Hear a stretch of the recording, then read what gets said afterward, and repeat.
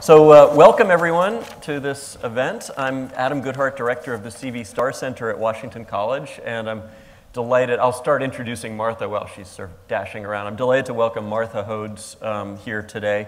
Her acclaimed new book, Mourning Lincoln, over there at the, at the table, explores the reactions of ordinary people, Northerners and Southerners, soldiers and civilians, black and white, as they responded with sorrow, anger, fear, ambivalence, and even joy to the tragic news of Lincoln's murder in April 1865.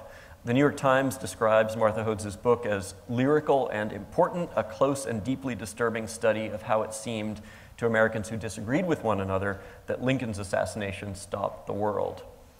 Uh, Martha Hodes is also one of the nation's most prominent scholars of race and gender in 19th century America. She's currently professor of history at New York University and has been a visiting professor at Princeton and a Fulbright Senior Scholar in Germany.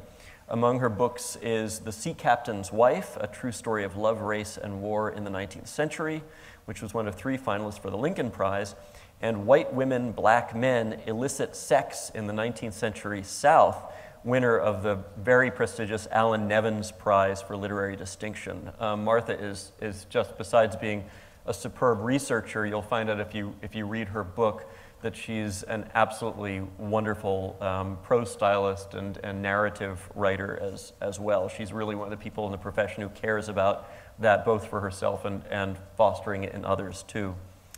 Um, so rather than doing a formal uh, lecture today, Martha and I are going to sit here and have a, a conversation. Um, and at a certain point, we'll open it up to questions and comments from, from all of you as well. And um, I should also mention, if you are a Washington College student, and I see some Washington College students here and there in the house, at this event, um, as at all of our events this semester, you can buy a copy of Martha Hodes' book at half price for Aldo and Sarah, will you hold up that beautiful hardcover?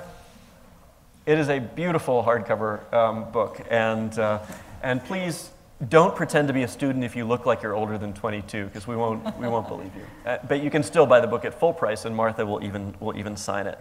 Um, so, final note I'd like to thank my colleagues in the Washington College History Department um, for co sponsoring the event, and also National Geographic for making those complimentary issues available. So, Martha, welcome. Thank you so much, Adam, and thank you for that lovely introduction. And thank you also to Washington College and everybody who has brought me here. And I thought by starting out, you know, we're talking about what happened on April 14th, 1865, when Lincoln was assassinated. But I actually thought that since today is April 13th, it might be interesting to start with April 13th, 1865, as a way of setting the scene for what happened on the 14th. So maybe I'll tell folks a little bit about the 13th. I was reading April 13th and 14th, 1865 newspapers this afternoon in my office. So much fun to be a historian.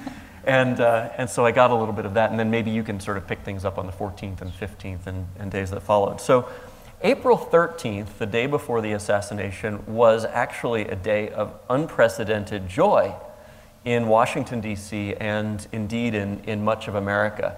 Um, of course, it was just four days after the surrender at Appomattox, and people were still rejoicing in what now seemed like the imminent, um, inevitable end of this terrible conflict that had killed three quarters of a million Americans. Um, the newspapers in Washington that day were full of news of Union victories. Selma, Alabama had fallen, Mobile had fallen, Lynchburg, Virginia had fallen, Montgomery um, was about to fall. All of these, all these places, just victory on victory, they could hardly even, even keep up with it. Um, the city fathers, the municipal, municipal authorities of Washington, had actually declared a great day of celebration in the city. That after these four terrible years, everybody was going to come out and celebrate Lee's defeat. Um, and so on April 13th in the evening, flags flew from the White House and the Capitol. The windows, they did what they called an illumination in the 19th century, which means that in that era before streetlights. They would light up all the buildings at night, and it was just a remarkable and spectacular thing. And so all the windows of the Capitol were lit up, all the windows of the White House, the buildings all along Pennsylvania Avenue. Bands were marching through the streets, and thousands of people were spontaneously bursting into song together, the accounts say. There was really, there was nothing like it before. Um, I actually, I, I, I found, I'll, I'll read you just two sentences from the newspaper the next morning, the morning of April 14th, describing the mood of this, of this city. They say, Never in the history of the national metropolis was such a scene of brilliancy, beauty, and general rejoicing witnessed here, so that the whole population participated last evening.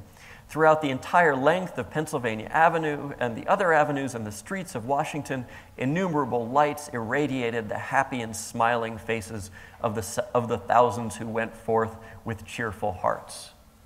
So that was the evening before. Now, there, there were a couple of signs, there were some signs of darker undercurrents stirring, um, although these weren't necessarily in the newspapers.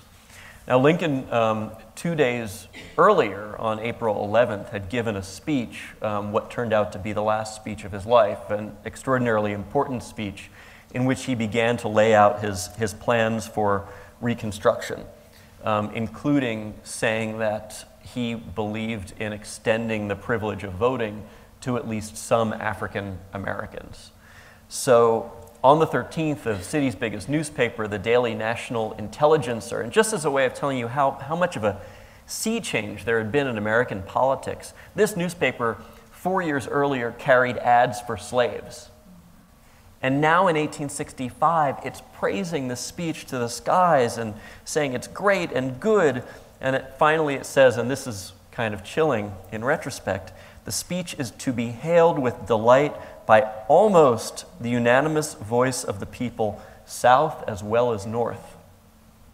But that was not the case because one of the people listening to that speech was a young actor, John Wilkes Booth, standing there in the crowd and was later reported as having said, This speech means Negro citizenship, although he didn't use the word Negro. And it's said that that was the moment when he really decided that he was going to do what he did on the, on the 14th. So, wanted to set the stage a little bit. And, and Martha, maybe you can, you can pick up from there and tell us how did the news change on the 14th and 15th? Thank you for that wonderful introduction. I will add just to the scene you were talking about that the companion standing with John Wilkes Booth followed up that statement with the words, Now by God, I'll put him through. So it really was a direct reference to saying, you know, he mentioned suffrage rights for black men, now I'm going to follow through on this plan and murder him, which he did. So on April 14th, Abraham and Mary Lincoln had tickets to go to the theater. They were going to see a play called Our American Cousin, which was a comedy about a backwoods cousin who was going to visit relatives uh, in Europe. And it was said that Lincoln was quite tired and exhausted and needed something light to do, and he and Mary had invited various people to go with them, and a number of people had turned down the invitation, including Secretary of, uh, Sec- Assistant Secretary of War Thomas Eckert and his spouse, and including General Grant and his wife Julia. So, with the Lincolns were a young couple, Clara and Henry, Henry Rathbone and Clara Harris. Uh, she was the daughter of a senator, and he was her stepbrother and fiance. They entered the theater uh, at about 10:15. They made their way to the seats. The band stopped. Now, theater in the 19th century was a little bit different, so the orchestra stopped playing when the Lincolns entered. They, the band struck up a tune, Hail to the Chief. People applauded. Lincoln took a bow, and he made his way up to the, the presidential box. John Wilkes Booth was a seasoned actor. He knew Ford's Theater. He knew the play. He knew exactly when there was going to be a particular laugh line. And during that line, not only would any sound be obscured, but there was only one person on the stage. So he had planned this very well. At that moment, the laugh came, and that's when he fired the shot into the back of Lincoln's head. Booth knew the theater well, so he had arranged with, by setting up certain uh, uh, he had put a peephole in the box, he had put a wedge in the door so nobody could open it from behind, and people had let him into the theater because he was a well known actor. He fired the shot, and then, of course, he jumped to the stage and shouted, Sic Semper Tyrannis, or that's what some people heard. Not everybody heard the same words. Lincoln never regained consciousness. Uh, Henry Rathbone stood up and said, and there's a famous picture of him standing up with his arm raised. He said, Stop that man. Booth slashed his arm. Mary Lincoln thought that all of that blood was Lincoln's blood. She was screaming. And then Lincoln was carried out of the theater by a group of men across the street to Petersen's boarding house, which was the closest place they could lie him down. The White House was too far away, and there he lay through the night and expired at 7:22 the next morning. And of course, the telegraph wires began to run, and that's the beginning of the spread of the news. As soon as Booth jumped to the stage and left the theater through a back alley, people were for a moment frozen in shock, and then they began to rush outside, rush out of the theater, and that's how the news began to spread.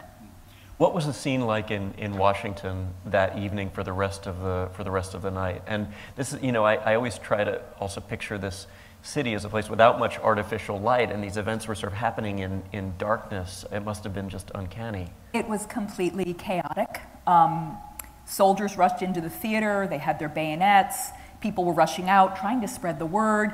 People were also fearful for the lives of other statesmen, and so they were running to the homes of other government officials and telling them don't leave your house. But of course, then those government officials wanted to be with Lincoln, so they left the house anyway. They ran to Petersen House. African Americans began gathering right away, completely distressed at the news, um, continually asking people who were in positions of authority what was going on with the president. Um, in Petersen House, uh, Secretary of War Edwin Stanton was already conducting an investigation into the assassination. John Wilkes Booth had escaped on horseback before Washington had sealed the city borders. So he was gone, and it would be two weeks till he was found. But nobody knew if other people were set to be assassinated. And in fact, other people were set to be assassinated. So there was one conspirator who had broken into the, uh, the home of Secretary of State uh, William Seward and had tried to murder him, slash him to death, but was then wrestled out of that uh, the, the, lock he had on Seward and ended up, you know, not, not completing his mission. Somebody was supposed to assassinate Vice President Andrew Johnson, but he chickened out and was having a drink in a hotel bar somewhere. So there was, there was a, the, the, the people who were afraid were, were right to be afraid, although nobody else was murdered that night. And it's amazing. Uh, I mean, I think there, one of the interesting things about that assassination is that we do focus on that moment of John Wilkes Booth, the lone gunman stepping out and firing his pistol, um, which uh, incidentally it was a it was a single shot Derringer. It was this tiny. I don't know if have any of you seen this in Ford's Theater. It's a it's a tiny little thing. It was um, not the weapon that I would have chosen to assassinate someone. You really only get one, one shot. It was actually known as the kind of pistol that gamblers kept at card games, so that if anybody tried to um, cheat them at cards, they could sort of pull this little gun out without anyone knowing what was there and just plug them across the card table. Um, but anyway, you know, we focus on that moment of Booth, the lone gunman, stepping out. And I think that our understanding of that event is so shaped by later assassinations, later presidential assassinations, that were all these sort of lone gunmen who were mentally disturbed to one degree or another.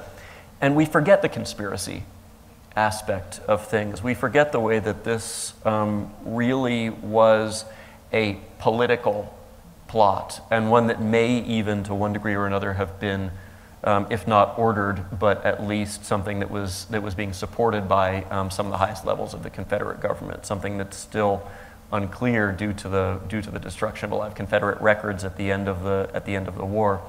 Um, so, yeah, I think that's, that's one of the most interesting things. But still, um, where you pick up in your, in your book, Mourning, Mourning Lincoln, is you pick up after that part of the story. Um, and that's the extraordinary thing with all the books about the assassination. There's never really been a book about the aftermath before. And so I wonder, first of all, what motivated you to write about the reaction? You're absolutely right that there are many, many books about Lincoln and about the assassination, but the standard line is the nation was a nation in mourning at this moment, which isn't entirely untrue, but it is specifically untrue in that not everybody was mourning Lincoln. Well, I've been teaching the Civil War for over 25 years, and I always have said something about Lincoln. Um, I began to research this book about five or six years ago, and I realized later, after I was in the middle of my research, that I had been motivated to write the book because I had been in New York City on the morning of September 11th, 2001, and I had seen the second plane hit the tower as I was on my way to school. It was the first day of classes at NYU. And when I thought back on that day during the process of writing Mourning Lincoln, I remembered a world grieving and in shock. And I remembered a world that had come to a halt. And then the next morning, September 12th, 2001, I had left my apartment in the village and I had walked through the streets taking pictures of signs and shrines. People had written handwritten signs and they'd pasted them up and they'd surrounded everything with flowers. And I had taken pictures of these scenes. And I went back and looked at those pictures. And what I realized was there was already all kinds of tension among people who were responding to 9 11. So there were people who were writing signs for peace, there were people who were defacing those signs and saying, you know, we need to take revenge. There were people who were then defacing in turn those signs and saying revenge without war. And the same was actually true. I was only five years old when Kennedy was assassinated, but looking back at the news at that time, there were extra policemen called out in Dallas. There were fistfights that broke out in bars because people said something against Kennedy and mourners were very angry.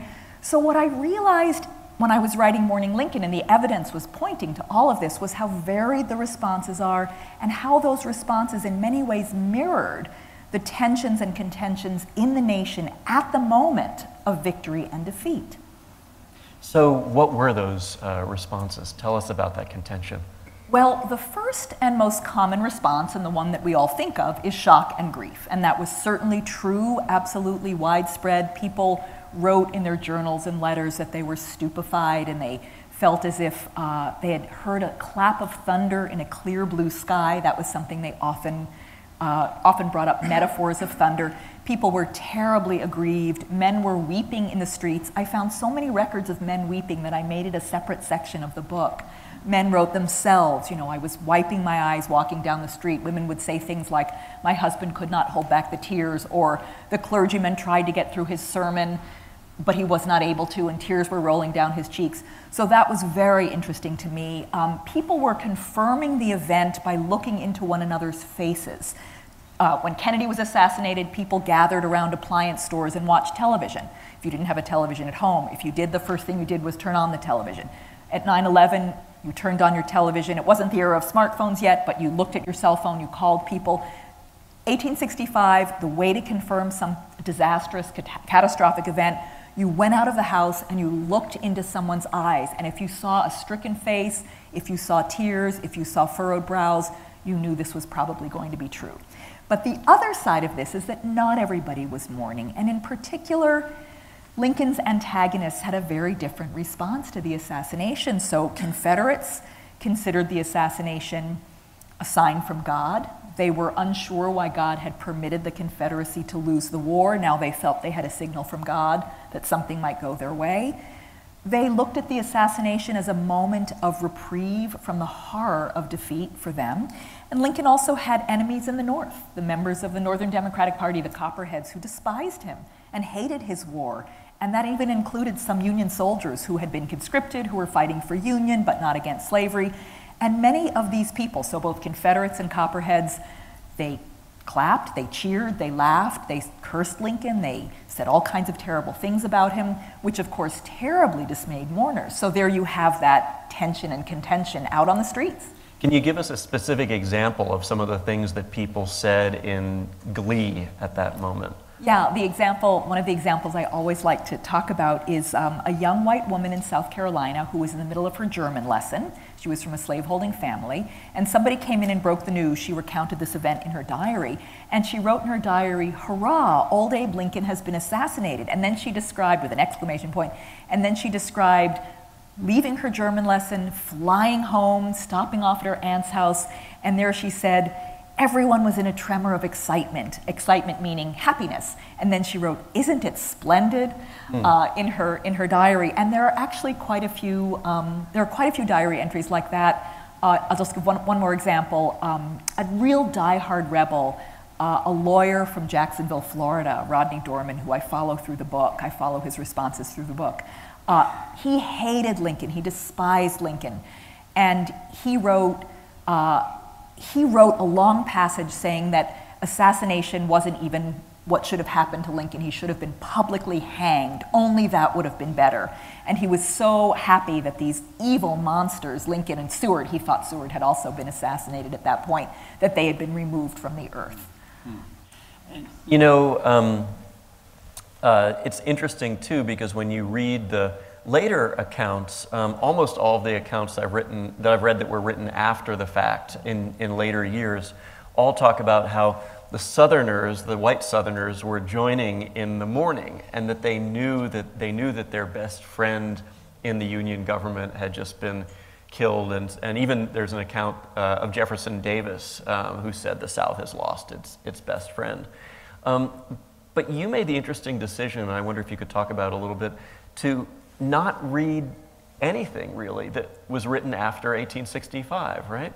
Right. So let me just say a few things about that. Um, I thought that the best friend narrative was something that happened later when the lost cause narrative became prominent in the later 19th and early 20th centuries. But what is so fascinating is that at the same time that Confederates are expressing glee over Lincoln's assassination, they're also worried because they consider him their best friend. So these two things are going on simultaneously.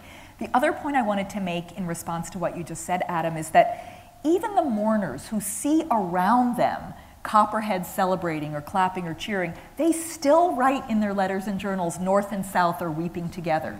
So it's mm. that kind of instinct where you just feel in this terrible moment that everyone is doing what you're doing and feeling what you're feeling.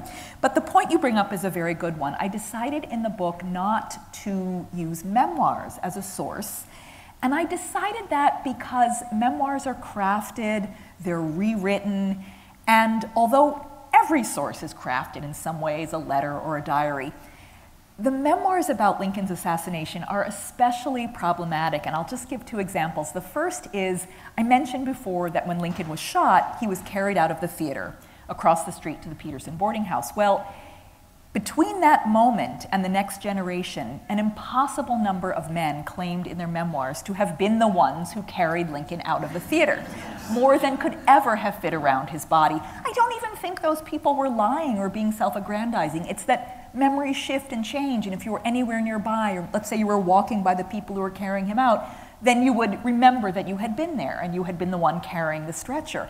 Um, the other example comes from a Union soldier diary that was in one of the archives I found. So there was an original diary, and then when this veteran grew to be an old man, he typed up the diary and added in um, he filled in the story, let's say. So in the diary, it said something like, I was in the Union Army hospital. Lincoln came by and saw all of us sick soldiers, you know, something like that. So Lincoln had walked by and maybe nodded at the men. Then, about 30 years later, when this veteran is writing up the story, he embellishes it tremendously. Mm. He says, Lincoln shook my hand. He spoke both to the Union and Confederate soldiers politely. He shook their hands too. So the narrative he was giving us 30 years later was really a lost cause narrative. In other words, the uniting of white Northerners and white Southerners, that Lincoln loved the South as well as the North. And I, of course, it could have been true, but I decided right then that it wasn't um, something I could do to trust these sources that, have been, that had been crafted so long afterwards. And you know, it's one place where our, our work on this diverges, not in the sense of disagreement, but um, in your fantastic book, you're interested in focusing on what was being said in 1865. In my own much more modest article about Link, following Lincoln's um, funeral train's journey um, that I did for National Geographic, I was actually really interested, especially in what happened since 1865 and the legacy of that, of that moment. And I do think that um, it's significant the way that people use that as a touchstone for national unity. Um, it was something that everyone could sort of subscribe to. And when the formerly seceding white Southerners were sort of ready to become Americans again, one of the things that they embraced as Americans was that idea that this was a tragedy. At least some of them did. Not everyone. Not everyone um, ever ever did. But I think one of the reasons it's fascinating is that we've had, you mentioned 9 11, the Kennedy assassination. We've had so many moments like that since then, unfortunately, moments of shared national tragedy, of shared national sort of simultaneous experience, that I think it's not just people of the Civil War era, but to all of us today, part of what makes us feel especially American is feeling like we experienced 9 11 together, or older folks knowing that they experienced the Kennedy assassination together. I'm still amazed how, you know, 14 years after 9 11, how little it takes in a conversation with a group of people to get people starting to tell stories about where was I, where was I on that day. You know, in this country where we're not the same ethnicity, we're not the same religion, um, we don't have the same family histories and we don't have the same politics, and yet those become, those tragic moments become our touchstones. In fact, Lincoln's death became a sort of a, a dress rehearsal, almost literally, because later presidential, assassinated presidential funerals consciously reenacted Lincoln's. It becomes a ritual of national, national belonging. Maybe that's why so many people also claim that they were in that, in that room uh, where Lincoln died, which uh, uh some people call it the rubber room because it was so. Um, actually, I, I, have a, I have a Currier and Ives print from 1865 that belonged to my grandmother, and it's of Lincoln's deathbed, the death of President Lincoln. And it shows like 50 people, like the whole family, the whole cabinet, everybody's gathered around the deathbed, sort of weeping. And um, you know, I, you go to the Petersen House. I was there with my students a couple of years ago, um, and you know, I and my four students could barely fit into that into that tiny room. Know. Um, well, first of all, Adam, your article in National Geographic is so beautiful, and I hope everybody here reads it. I absolutely loved it. It, it is, you're right, quite a different take, um, and I think it goes really well in a way with Mourning Lincoln. Um, what's so interesting to me is when we think about these events that we imagine as universal, I think it's important for us to remember that they weren't necessarily universal at the moment. And it may sometimes be that the people we talk to or the people we communicate with, say over social media, are usually people of our people we agree with in different ways. And so after something like Ferguson, Missouri, to me it felt like the whole world was protesting. But really, I'm quite sure that wasn't the case. Um, we don't often hear the other side. And that explained to me a little bit, uh, I don't mean the other side as the other side being equal, but dissenting voices from what, what we may think. And so that, in a way, explains why people would write something in their diary uh, in 1865 saying North and South are weeping together, or Lincoln knew no North, no South, only his country, because it feels like that at the moment.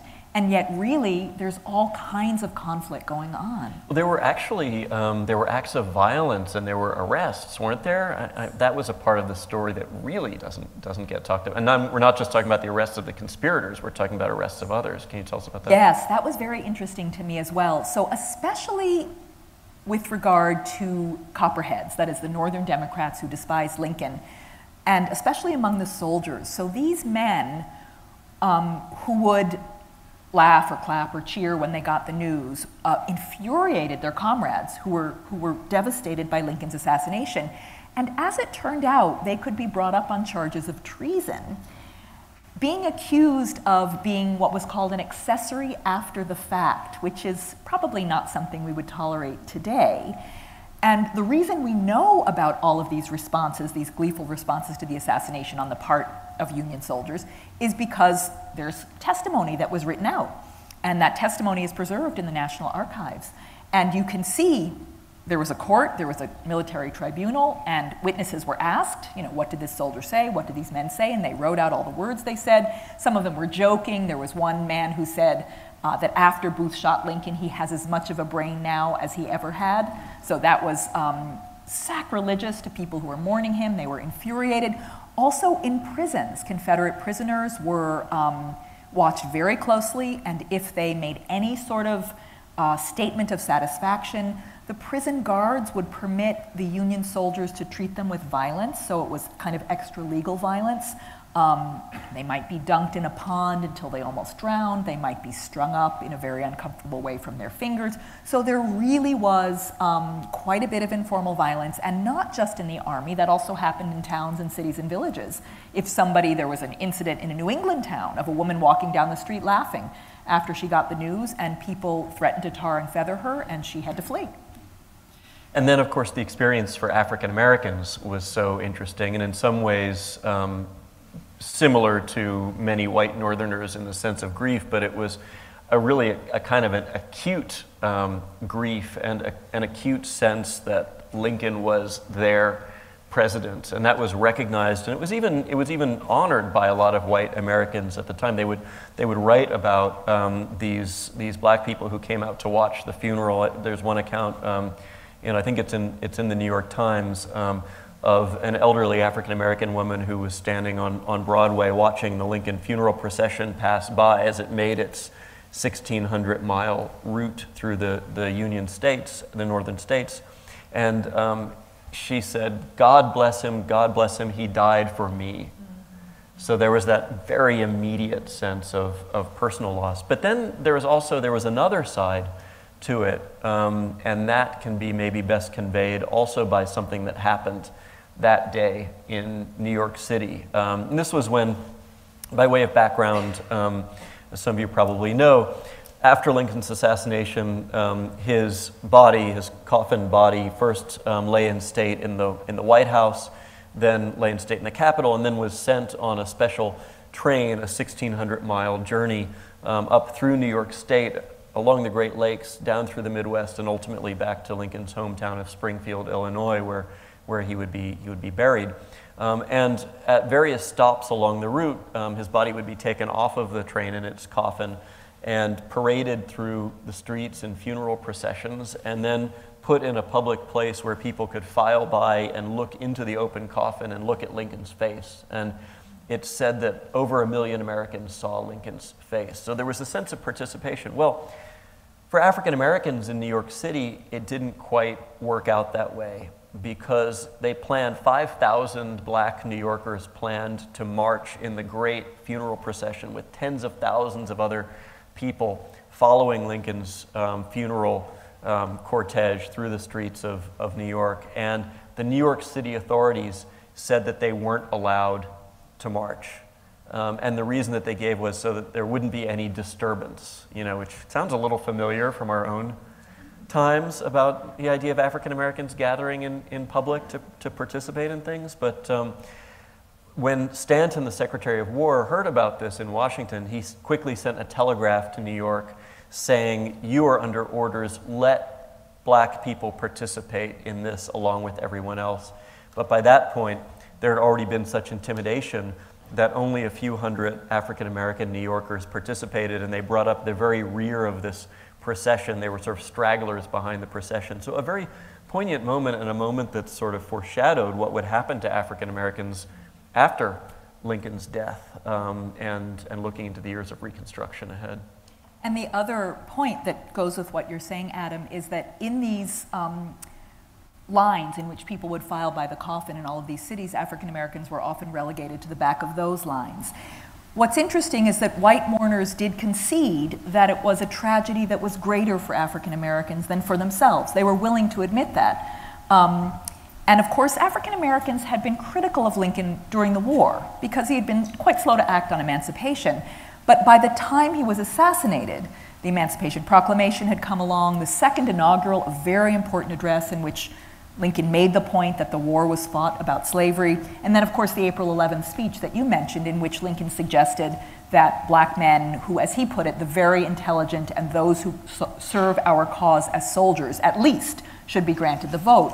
So there was a real sense um, that Lincoln had been deeply influenced by African Americans as well as by white abolitionists, that he was their president, and that he would have seen through Reconstruction, would have seen them through Reconstruction in a way that did not happen with Andrew Johnson. And African Americans knew that really right away, that, that without Lincoln, um, there was going to be a diminishment of their rights.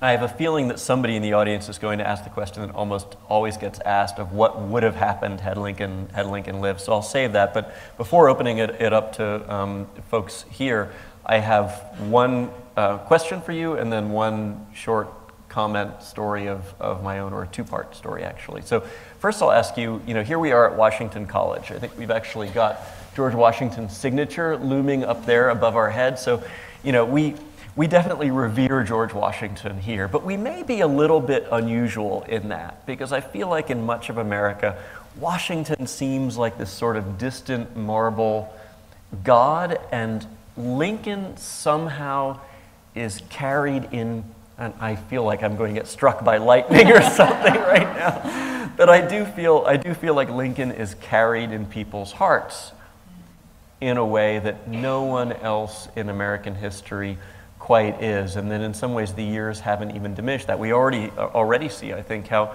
Kennedy for a younger generation of Americans who weren't around for the assassination. Well, people know that he supposedly slept with Marilyn Monroe, and people, you know, know about a few, you know, the Bay of Pigs and a couple of things, but, but Lincoln, it just seems like we always come back to, and I wonder, I wonder why you think that is, if you could talk about that. I'll respond by talking about some of the ways that mourners compared Lincoln. So, Lincoln was compared to George Washington.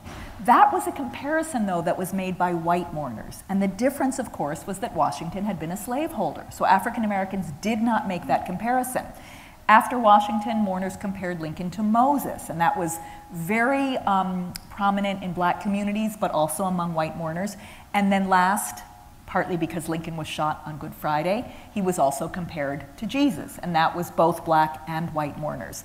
Um, but I do think you're right that Lincoln holds a, a, certain place in our hearts that has to do with the um, the turning point of the Civil War in American history.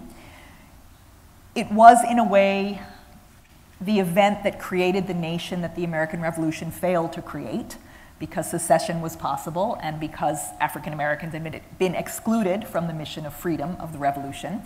Um, but I also think the Kennedy point is really interesting here, Adam, because people thought of, of Abraham Lincoln as their father, Father Abraham. Kennedy, if you hmm. read the letters to Jackie, for example, that are collected in a wonderful book, people thought of Kennedy as a brother or a son. Hmm. So there was a way in which Kennedy was even closer to people's hearts. But people really did love Lincoln, and they wrote about loving him, and they wrote about the fact that they didn't just call him Father Abraham, but people wrote things like, I felt as if my own father had died. One former slave said, I felt as if both my mother and father had died at the same time. And people really wrote about him as a friend and a relative and an intimate. And that has to do with, I think, Lincoln's genius as a statesman and a diplomat. You know, when you say that, it's amazing because that article that I um, was talking about about Lincoln's speech, one thing that I didn't quote was they said it was a speech both paternal and fraternal. Yeah, so they were thinking of the brother and the father, right on, literally on the eve of his assassination. It was in the newspapers that day. Um, so I, I, had one um, last point um, to make, just because I had to, I had to um, tell a, a, couple of things um, because of some proximity. One is that um, there's actually a Washington College professor who's mentioned in my article, although he's unfortunately not mentioned by name, but he's here with us, Dr. Bennett Lamond, whom many of you know. And the reason that Bennett is mentioned in this story is that something that Bennett told me years ago before I was working on this, maybe even before I was writing about the Civil War, stayed with me. And that was Bennett told me that he remembers as a young boy, so this would have been the 1980s, right, Bennett? he, Bennett, remem- Bennett remembers as a, as a young lad being told by his grandfather about seeing Lincoln's funeral procession pass that day down Broadway. I just heard that and said, wow, this history is not so very far away. And the second thing I have to tell to illustrate that, that also blew me away, was much more recent. Um, last Friday, I spoke, um, I, I moderated a panel in the room where Lincoln drafted the Emancipation Proclamation in Washington, drafted much of the proclamation. It's a, an amazing historic site called President Lincoln's Cottage at the Soldiers' Home. So I'm sitting there, which is mind blowing enough in this room for a few hours where he drafted the proclamation. Afterwards, um, an older gentleman in the audience comes up and introduces himself, and he said, I really enjoyed that presentation. And I also wanted to mention to you, I am the son of a slave. I said, wait a minute.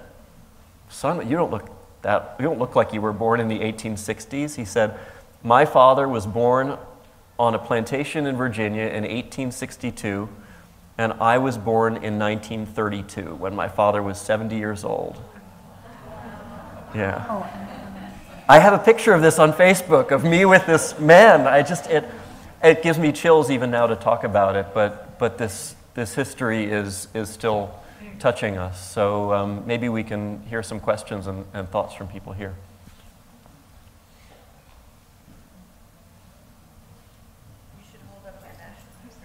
I'll do that. and I'll hold up your, yeah. Wonderful. Yes.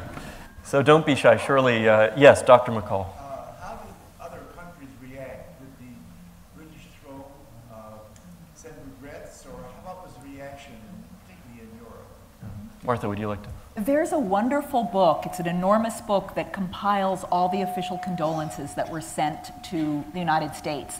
It's everything from all the governments of Europe to all across the world to working men's associations, uh, women's sewing circles. Um, so, all, all across the world, people sent official condolences and regrets, and they're really beautiful letters. But one thing that's really interesting, you mentioned Britain, so I'll just say something about this. In the course of my research, I read the diaries and letters of Charles Francis Adams, who was the minister to London during the Civil War and in 1865. And Charles Francis Adams would go to these dinner parties of well to do upper class Brits who were quite sympathetic to the Confederacy. And he, was, he would write in his diary how disgusted he was by their responses. In other words, they weren't people weren't cheering that Lincoln was assassinated. Some were, but not everybody. But they were worried about Jefferson Davis, and that really angered Charles Francis Adams. So once again, you have the official condolences saying one thing, not necessarily untrue, but then all kinds of other responses. And Charles Francis Adams, uh, Adams also saved um, anti-Lincoln doggerel that he received. Um, he received a poem that he kept with his papers about Lincoln becoming Satan and descending to hell. So you really see the variety of responses when you move away just from the, from the official diplomatic condolences. There, there is a beautiful um, note from Queen Victoria to Mary Todd Lincoln, um, where she's speaking. Of course, Queen Victoria had lost her absolutely beloved husband, Albert, in 1861. Um, and so she's writing sort of just as one woman to another, as one bereaved widow to another. It's a, it's a beautiful note. What, but perhaps more surprising, um, one of the strong expressions of, of sympathy came from ruler of sort of one of the least democratic nations in the world at that point, um, Tsar Alexander II of, of Russia, who also felt an odd kinship with, with Lincoln that a lot of people have forgotten. And Alexander, um, several years earlier, had freed the Russian serfs. And he and Lincoln um, wrote to each other and sort of admired each other during the Civil War because they both knew what a struggle it was um, trying to take this progressive step despite the vested interests of the, the landed aristocracy in their, in their country. So, yeah, Lincoln resonated in all sorts of ways. There's, a, there's another, there's a wonderful um, description by Tolstoy um, where he talks about visiting a remote area of the, of the Caucasus um, later in the 19th century, and he was meeting with this tribes, this tribal chief um, sitting around a, a, a fire. Um, and this tribal chief is asking him for news of the outside world and says, Tell us about this great man Lincoln of whom we have heard speak. You know. Yes. I've been very, very struck how soon after the battles of Lexington and Concord, the news was, was known as far away as Charleston and Savannah within two weeks. How soon did the uh, word of the Lincoln assassination get to the frontiers, and particularly in the South, where the uh, telegraph system was, had been pretty much destroyed? Exactly. So where the telegraph lines ran, news was within hours.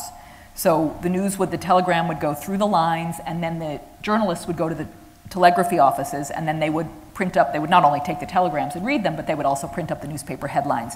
So that morning, for example, the morning of Saturday, April 15th, San Francisco already had word within hours. That was very interesting to me because there was a telegraph there. Um, and the telegram in San Francisco, I have this from a personal account, a diary that day. The telegram was read from the, foot, from the, from the steps of the telegraph office with a crowd standing around it. But um, there were many places in the United States where the telegraph didn't run, and much of the southern system of communications had been disrupted by the war. So, what's really interesting was um, it was very interesting for me to follow the way rumors began to spread where the telegraph didn't run So perhaps somebody would write something in a letter and then word would spread, or a government official would get a notice and then maybe say something to some of the men.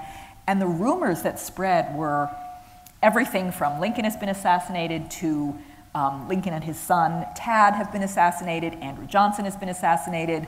Um, and then the rumors began to be the Confederacy hasn't really surrendered, and Robert E. Lee and Jefferson Davis, and all, you can just see the way, um, in an era where communications was considered to be instantaneous through the telegraph, rumors were faster than the telegram.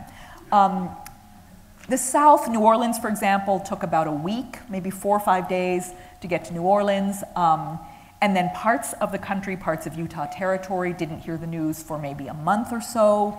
I think the latest places to get the news were outside of the US. June was China and Australia.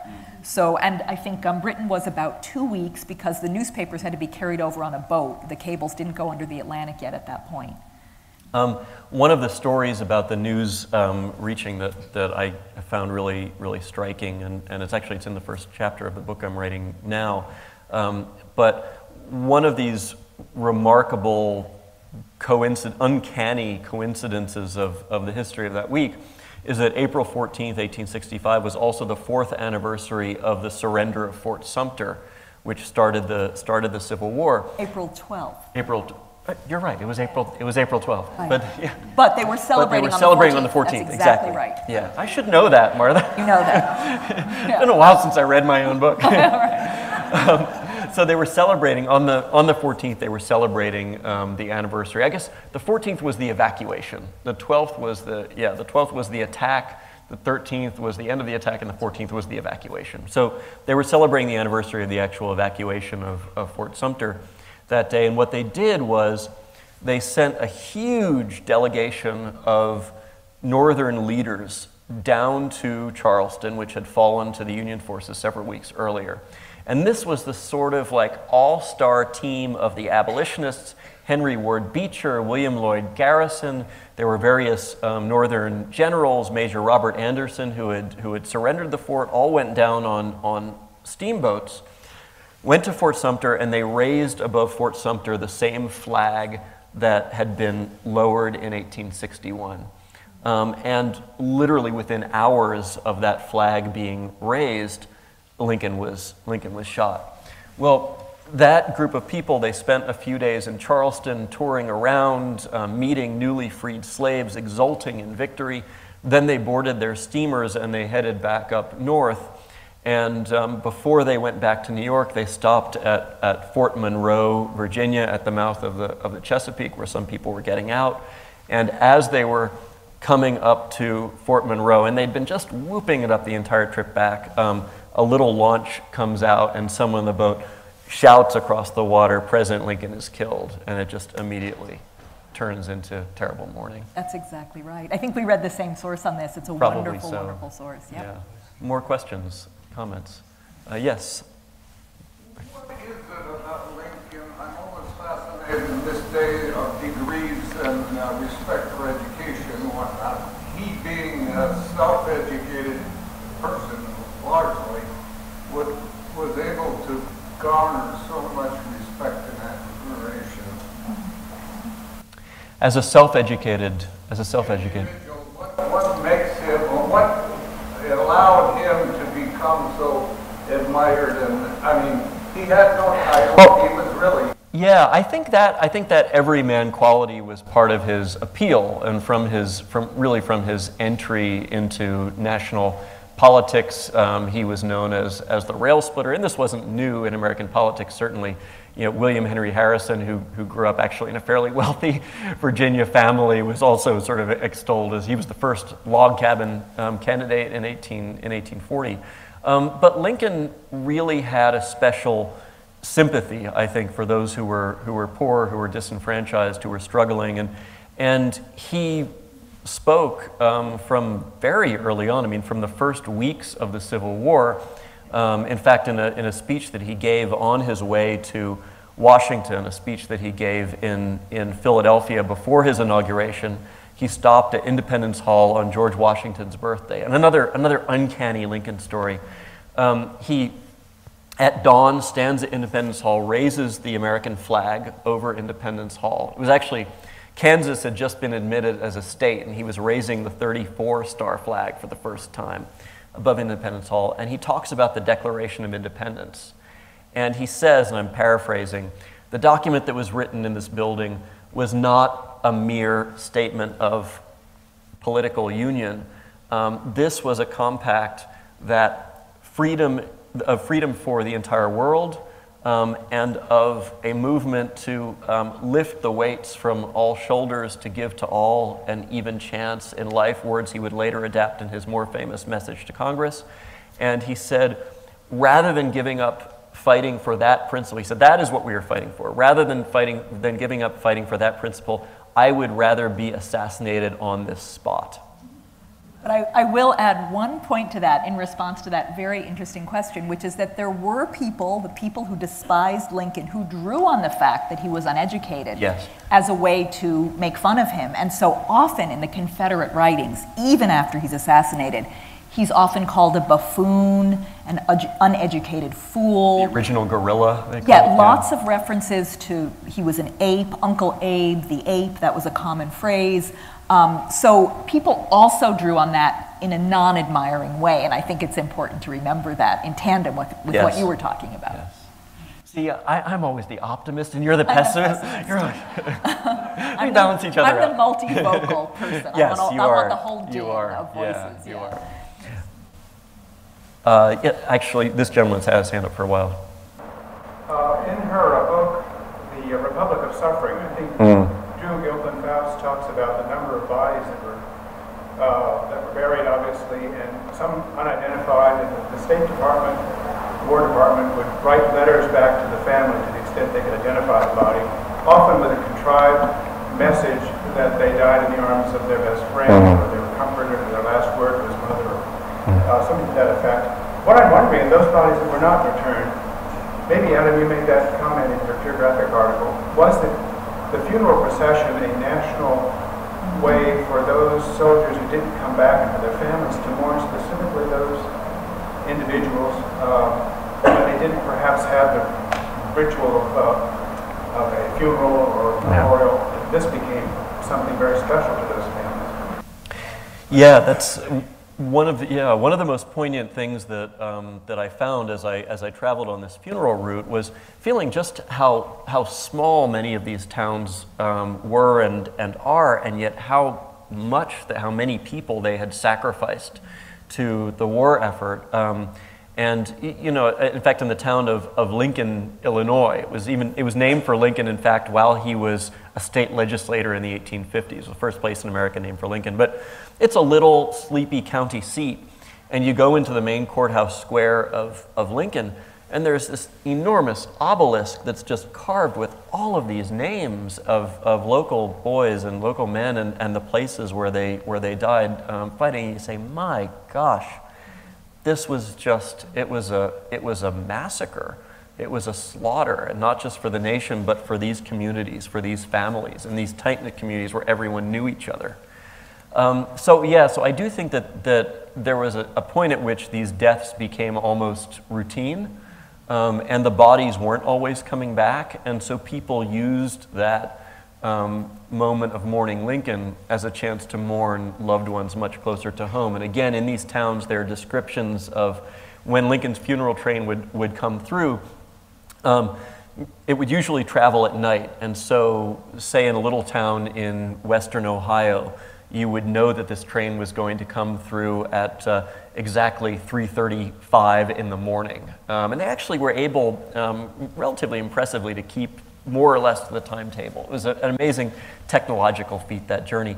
And so thousands and tens of thousands sometimes of people would come down and gather at these little depots. And imagine this at a time before artificial light, um, a time before, you know, nobody had, had come out in crowds at, at night before and at 3 o'clock in the morning, and they're all gathered, and there are bonfires, and people are singing hymns, and they're, um, they, they, would, they would get up, sometimes a soldier would get up and, and read the second inaugural address, read the Emancipation Proclamation. And so there was this kind of sense of, of catharsis that went beyond just the individual death. And in fact, I'll just add that in reading personal writings, diaries, and letters, people would say things when the funeral train was coming through or when they were writing about Lincoln. They would often add something like, and I remember my dear son who died in the war in 1862, or I remember my dear brother who died 16 months ago today. So they made those, people made those connections between mourning Lincoln and mourning more intimates. Do we have any questions from students? Um, I have a feeling that we, that we may, and then we'll come back to Dr. McCall, who's a lifelong learner. But uh, is there a student over here? Uh, no students? Was there a, okay. Would you like, you had your hand up then. Two weeks ago at the Morgan Library, I, I had the opportunity to walk around an exhibit of Lincoln's works, his handwriting, which was not always easy to read, but nicely typed. The side were uh, easy to read cards. The point in the exhibit was made that very early, Lincoln um, and his father disagreed violently about value of going to school. Lincoln owed his father a great deal of labor. Um, he did get some public education young at a considerable walking cost. But what impressed me was how he was able to borrow books. And he had to go great distances often to be able to do that. So the, the meaning of self-made man became much more real to me. And the contrast between Lincoln, even as a president with a secretary, is using his own thoughts, his yeah. own language. Today, we built enormous presidential libraries. Yeah to people who may or may not have been very good original mm-hmm. writers, because so much of what now comes from the White House has, has been filtered. Yeah, I have to say, you know, last last night um, I watched, and maybe some of you did as well, the Hillary Clinton announcement video on, on YouTube. And no matter what you, you think of, of Hillary Clinton and where you are on the political spectrum, uh, you know, having been thinking about Lincoln and his ideas a lot lately, when I saw that, I just said, the intellectual poverty of this YouTube video compared to Lincoln's most mundane speech, it was just, it was incredibly, incredibly depressing. And um, yeah, so. yes, absolutely. I mean, Lincoln, Lincoln was an extraordinary mind. He was a lawyer, but let's not forget that to become a lawyer in his lifetime, you had to read law with, you didn't have to go to law school. You could just read law books with another lawyer and then you would be yeah. a lawyer. So he undertook, which was quite impressive, but it, he didn't have to contend with application to a law school. and I think, you know, I think another point beyond um, Lincoln's writing is that from Lincoln's earliest days and throughout his life, um, he had a special relationship to, to words and to ideas. Um, Lincoln knew that ideas were things, ideas were weapons. He had used the weapon of words and education to defeat the terrible deprivation and, and I mean, really squalid conditions, uh, surroundings into which he was born. Um, and of course, to become a lawyer. And as a, as a lawyer, everyone here who's trained in the law knows that when you're a lawyer, you know that words change lives, often for the worse. Words can even take life um, in the law. And Lincoln also, and I think it's a salient fact of his life that um, often gets ignored, Lincoln lived his entire life within 50 miles of the Mason-Dixon, of the line between freedom and, and slavery. He never lived more than 50 miles away from the border between a slave state and a free, and sometimes including in Washington, living on the slave side of that line. And that line you know, as part of my journey, I, I, I went and I hiked across the Mason-Dixon line right along the railroad um, line, the railroad right-of-way where Lincoln's train passed. And it was, of course, I've crossed it many times, you know, driving up I-95 or whatever, but just walking across it, I was struck by This line does not exist on the landscape. It's not a mountain, it's not a canyon, it's not a river, it's not a wall. And yet, that line made of words and made of laws was as powerful as any barrier in the world. And Lincoln knew that. He knew that words kept people in slavery. He also knew that words could erase that line and liberate people from slavery, which of course was his great achievement. And Lincoln's part of his genius with words was that he also used words that angered people and that might have been too moderate for some and too radical for others. And he was willing to do that as a statesman. Kitty Biber, you, you had a follow up to that, and then we have a student asking a question here. Yeah. Um, Walt Whitman is so much a part of our Lincoln consciousness. Um, and I know Lilacs wasn't published right away, but can you talk about how much um, his poetry affected his time? Yeah, so the question is about Whitman's poetry and how much it affected his time. So Walt Whitman wrote poem, two poems that are now famous about Lincoln, and he began to write them immediately after the assassination. One is O Captain, My Captain, and the other is When Lilacs Last in the Dooryard Bloomed. And they're both beautiful poems, and everybody should read them. Walt Whitman was in Washington. He worked at, um, he worked at hospitals in Washington. He visited the soldiers. Uh, he saw Lincoln all the time, and he wrote about seeing Lincoln. And he, I think he really loved Lincoln. I think, I think Walt Whitman would have des- described himself as somebody who loved Lincoln and admired him deeply. Um, what I love the most about, well, Oh Captain, My Captain is a beautiful, beautiful evocation of the kind of shock, of the kind of disbelief, and of course, the character of the captain is, is the metaphor for Lincoln, who falls down on the deck dead. Um, what I love the most about the Lilacs poem is that um, there's certain imagery that literary figures, all, I'm sorry, literary analysts always point to about the, a certain songbird, etc. But the part I like the best is the part where Whitman makes the point that everyday life goes on in all the houses in the villages. It's not a well known line, so when, when you read the poem, look for it. And he's making the point that although we will never forget this day and we will come back to it every year and we will mourn every year, everyday life does still go on. And that's partly because he's talking about the victors. And they were eager to look forward to the future as well as to mourn Lincoln. The Union had triumphed, the nation was going to be reunited, and they were still able to feel that joy, even though Lincoln's assassination was such a terrible blow and so devastating. They were still able to look forward with a certain kind of optimism. I think we still have time for one or two more um, questions. Uh, Shane, you had your hand up. Yeah, sure.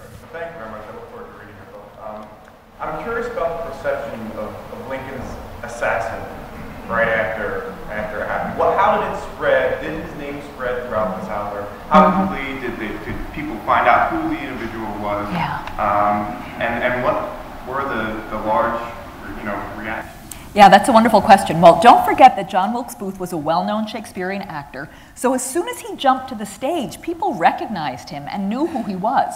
So his name was being spread through the crowds. It was John Wilkes Booth that very night. I found this very interesting in reading people's personal responses. Ultimately, people blamed Lincoln's assassination on slavery, and you didn't even have to be an abolitionist to make that point. So many, many people said it is slavery, slavery. That was somebody, somebody wrote in a diary. And this was even before they went to church on Easter Sunday and maybe heard the minister say that. It was slavery who assassinated our president. Below that, in a more concrete sense, was a sense that the Confederate leadership was responsible. But then people did not exempt John Wilkes Booth. So there was a great deal of blame and anger directed toward Booth on the part of Lincoln's mourners. Union soldiers would write in their diaries, they would sit around the campfire and imagine what they personally would do to Booth if they captured him. And the, what they write are, it's very, very gruesome. If you can imagine the most gruesome kinds of descriptions. These men imagine themselves torturing Booth. Um, and then the other point, which is really interesting, is Confederates. Their response to Booth was very interesting. On the one hand, they called him a hero. They said he's welcome to come to the South, he's escaped, we'll welcome him here, he will be safe here. But on the other hand, Confederates didn't want to be blamed as a whole for the assassination. So at the same time as they say, we'll welcome Booth here and he's our hero, they're very clear that he's a lone madman who acted by himself. He has nothing to do with us, and we're infuriated that the federal government would think that we, the Confederate people, had anything to do with it. It's very contradictory. And yet, those are the two kinds of contradictory responses that you see in people's diaries and letters from the white South. Y'all come on down. Yeah. Okay. Uh, yes. I have a question and a request. So I know you said that he went with his funeral procession went to Springfield, but we know that that's not where his final resting place is. Can you just talk about um, what happened to him after he was buried, like how he was dead? Right. Actually, his final resting place is in Springfield, although not for want of um, trying on, on the part of some people. Because, yeah, you allude to the fact that, um, yeah, around the, the turn of the century, Lincoln's, Lincoln's body was actually removed and sort of kidnapped by some um, highly incompetent grave robbers, and then the body was put back into the ground, and um, people actually had an opportunity to, to see Lincoln's body. The coffin was opened, and people looked to sort of check that he was still in there. And um, I think that the, yeah, and they, you know, of course they said he was in a remarkable state of preservation. I don't know, compared to what, but, um, but in fact, the, the last person to have looked at Lincoln's face died relatively recently because it was somebody who was a little kid in 1908 or whenever it was who had, who had been there for this brief reopening of the coffin. But it's interesting because I was, I was in Springfield um, this summer, and of course I went to, and Springfield, how, how many of you have been to Springfield, Illinois before? Um, well, if you haven't gone, it's a remarkable place. There's so many things that are amazing about, like going to Lincoln's house and seeing that this really modest little middle class house, it wasn't even the fanciest house on the block, let alone in town. Um, and you see the stove that Mary Lincoln cooked at herself. I mean, this was not Monticello, it's not Mount Vernon, it's not even James Buchanan's house, Wheatlands in Pennsylvania. Have any, any of you vis- besides me visited James Buchanan's house? Awesome! Okay. there, aren't, there aren't too many. Um, but, uh, but anyway, the other thing, of course, you go to Lincoln's tomb and it's been remodeled several times. And the current version is this sort of third-rate Art Deco version. You feel like you're kind of in the in the lobby of an office building or something. There are all these inscriptions about Lincoln, not one of which mentions the Emancipation Proclamation. It's, it dates from 1932, and you can imagine you can imagine why. But I mean, literally every detail of, of Lincoln's life. It says, you know, he was a sergeant in the Black Hawk War.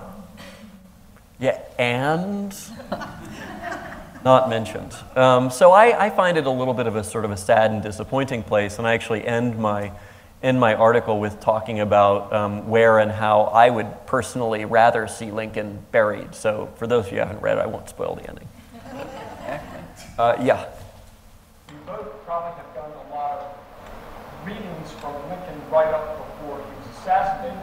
I wonder if he had any prescient writings about what he thought Andrew Johnson would do after he was gone, as far as not only reconstruction, but trying to mend or not mend the huge gap that now developed between the Confederacy and the Union. Prescient writings from Lincoln himself? From Lincoln himself. Well, he didn't know, of course, that Andrew Johnson was going to succeed him, but. Well, two things. First, there, there are legends that, that assassination, but in fact, there's a scholar now who's tracing back every instant where somebody recalls that Lincoln had a dream that he was going to be assassinated and following every footnote back, and it does seem to be something that's fabricated. But Johnson is a really interesting point because, of course, Lincoln had chosen Andrew Johnson as his running mate in 1864, the second time he ran for president. His first vice president was Hannibal Hamlin, who was an abolitionist from Maine. Johnson, of course, was a Southerner, and he had been a slave owner. He was from Tennessee. He was the only senator who stayed in after secession. Um, in all the reading I did about Lincoln's writings up to the point he was assassinated, I never saw anything he wrote about Johnson.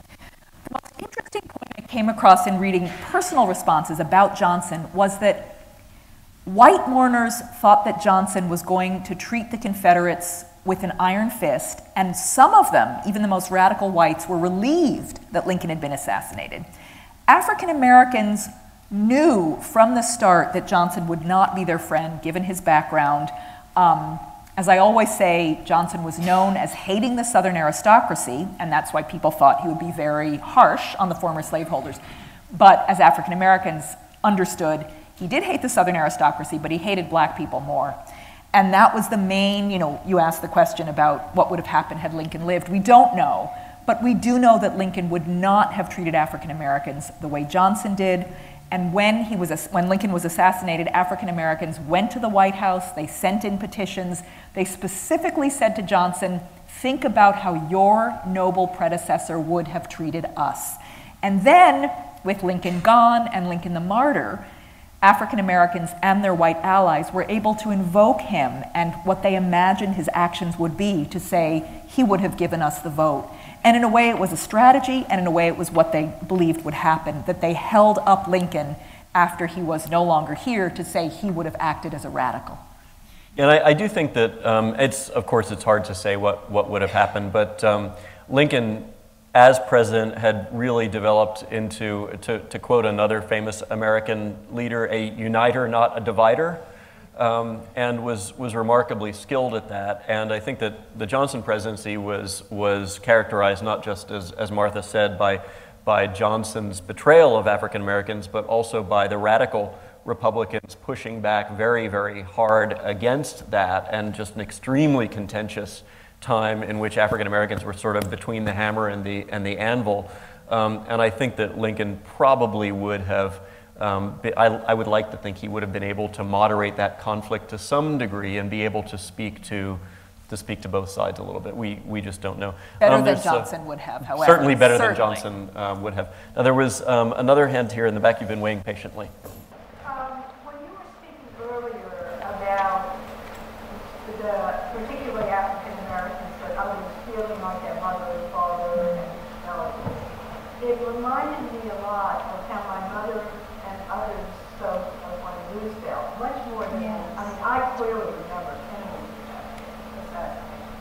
But the sort of way you described it seemed to me more like how people couldn't imagine the world without Roosevelt being America. Do you have, have you looked at that? Do you have any thoughts about those kinds of parallels, about the sort of sense right after Roosevelt died the only thing I can say about that, because I haven't researched it and I'm, I'm not old enough to have remembered, is that many, many places in which I've spoken about Mourning Lincoln, people bring that up. So there's clearly a very interesting parallel going on there. The words were almost exactly how right. I've heard, heard my late mother and other mm-hmm. people mm-hmm. talk about the world ending. Mm-hmm. And the animosity towards mm-hmm. Roosevelt mm-hmm. was almost right. as great as, or probably as great as the animosity towards Lincoln, political animosity. The only other uh, death that I, death of a statesman I talk about in the book that I did some research on is, is Garfield, who was assassinated in 1881. Um, quite different, and yet at that moment, I followed up some of the mourners, uh, some of Lincoln's mourners up to that time, up to 1881 um, we're also quite devastated by Garfield's assassination. We don't remember it in the same way. It wasn't the same kind of moment at the end of a civil war, but at that moment, there was a tremendous amount of mourning and devastation. Well, uh, I think we have to wrap things up, but I, I, um, I hope that everybody will um, spare a few minutes or maybe even more than a few minutes to think about Lincoln um, in the next 24 hours or so. And if you, if you want to, I would, I would just recommend that you read something by Lincoln, one of the great texts, the Gettysburg Address, the second inaugural, or even one of the less well known texts like his speech at Independence Hall, his farewell to his friends and, and neighbors in, in Springfield, Illinois. Um, it's just his, his words are so vital and, and vibrant, and Lincoln himself is one of those figures who, sort of like a great book that we can go back to generation after generation and read and reread and find new things and argue about and reinterpret. Um, that's who he is, and uh, so I, I hope that you'll spare a moment for him tomorrow on the terrible anniversary. Thank you.